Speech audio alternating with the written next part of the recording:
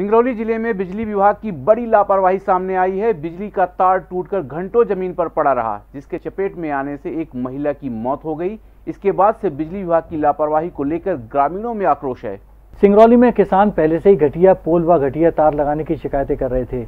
ऐसे में भरसेंडी गाँव में पोल टूटकर ज़मीन पर गिर गया और स्थानीय लोगों की शिकायत के बाद भी विद्युत विभाग की टीम नहीं पहुँची, जिसकी वजह से टूटे तार में फंसकर एक महिला की मौके पर दर्दनाक मौत हो गई। बैरन से तकरीबन 120 किलोमीटर दूर ग्राम भरसेंडी में महिला के परिजनों ने बताया कि लल्ली यादव अपने खेत में खाद डालने जा रही थी कि बिजली के खंभे से हुई तार की चपेट में आ गई। वो बुरी तरह से झुलस गई और उनकी वहीं मौत हो गई। किसान लल्ली यादव की दर्दनाक मौत के बाद ग्रामीण भड़क गए। ऐसे में निवास पुलिस चौकी प्रभारी संदीप नामदेव ने दल बल के साथ मोर्चा संभाला। दस बजे विद्यालय चला गया था। अच्छा।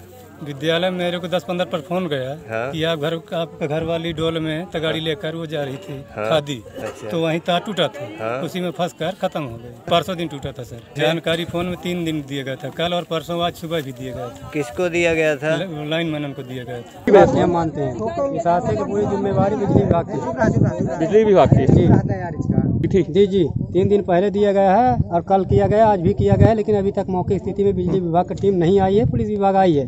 और अगले वर्ष इसी तरह घटना हुआ था, पुलिस पुलिस वालों ने और बिजली विभाग ने कहा इसकी कार्रवाई किया जाएगा, दो उन्नीस की बात है, लेकिन आज तक किसी के बारे में न मुकदमा कायम किया है, पुलिस विभाग ने, न कि कोई कार्रवाई नहीं किया है। ग्रामीणों ने बिजली विभाग के जिम्मेदारों पर आरोप लगाया कि तीन दिन पहले ही विभाग को तार टूटकर गिरने की खबर फ़ोन के ज़रिए दी गई थी। लेकिन बिजली विभाग की मेंटेनेंस टीम नहीं पहुँची, जिससे एक महिला को अपनी जान गंवानी पड़ी। इसके पहले भी आंधी तूफ़ान में जब तार टूटकर गिर जाते हैं और शिकायतें करने के बाद भी सुधार नहीं होता, जिसके चलते कई बार मवेशी करंट लगने के कारण मारे जा चुके हैं। इसी हंगामे के बीच पुलिस ने समझाई दी और उसके बाद ये मामला शांत हुआ।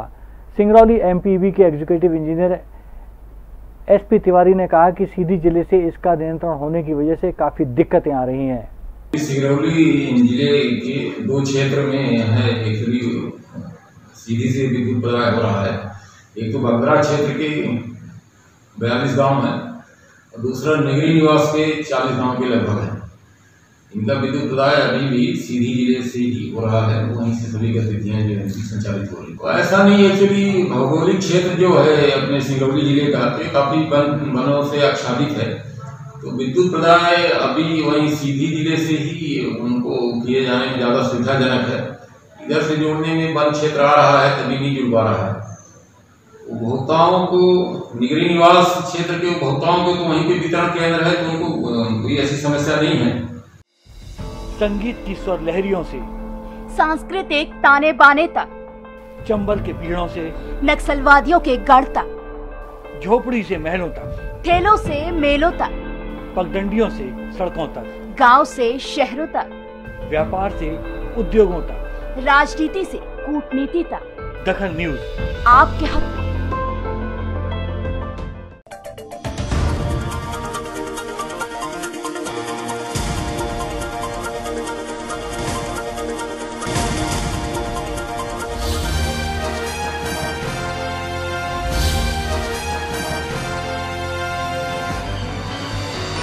आप देख रहे हैं दखल न्यूज़।